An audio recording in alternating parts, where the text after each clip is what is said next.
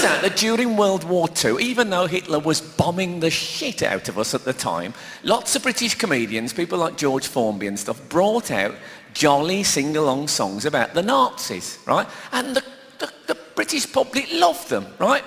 And I thought, it's a shame we've lost that. I kind of like that attitude to warfare. But if a modern British comedian brought out a jolly sing-along song about, say, the Iraq War, he'd be slaughtered, wouldn't he? If he was watching the lottery show one Saturday and they said, and now with his new single, ladies and gentlemen, Frank Skinner, and I came on. the band strike up and I'm going, my mate Ali was a dentist, now he's a Muslim fundamentalist.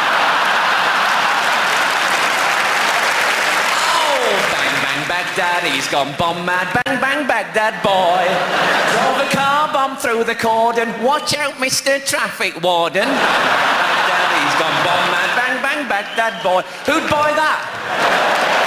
Oh.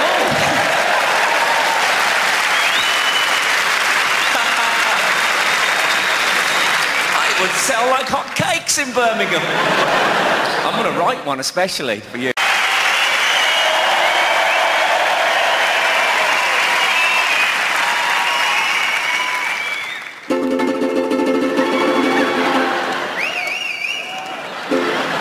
What happened to that nasty man so pally with the Taliban? Oh, oh, oh, oh, Osama bin Laden. I believe you promised to buy this.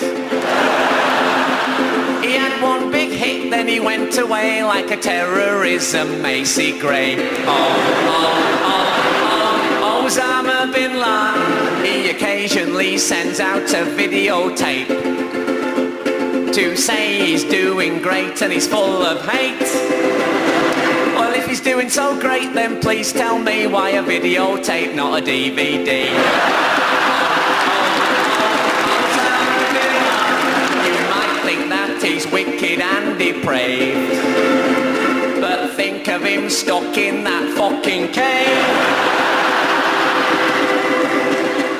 He takes girls back there now but the clerics just throw stones at them.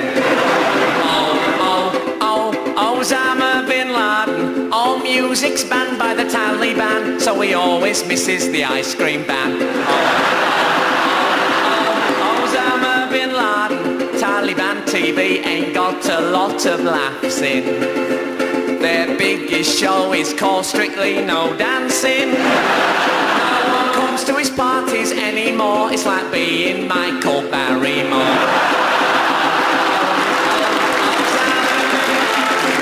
Oh, oh, oh, oh, Osama bin Laden. Thank you very much. Good night.